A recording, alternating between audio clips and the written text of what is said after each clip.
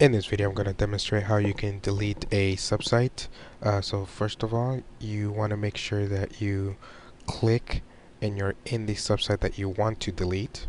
So go ahead and click on that. For this example I am going to delete this fourth grade subsite.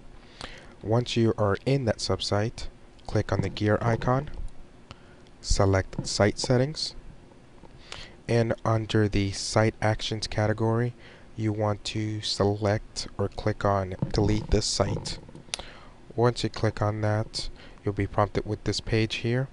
Um, if you were the person that created the subsite, uh, if you look at the URL uh, address here, uh, it, will look similar or familiar to you because uh, it'll show you the title that you picked for the URL. Uh, so if uh, you're sure you want to delete it, click on the delete button and when you get this little dialog box here asking you are you sure you want to delete?